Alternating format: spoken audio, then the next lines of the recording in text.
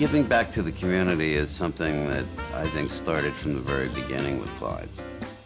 We've done it in many, many ways, whether it's our time, whether it's our money, whether it's our ideas.